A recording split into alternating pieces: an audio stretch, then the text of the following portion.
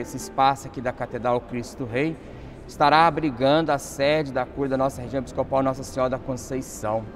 Esse ambiente onde vamos ajudar no caminho evangelizador, como a nossa região episcopal tem uma tarefa bonita no exercício pastoral.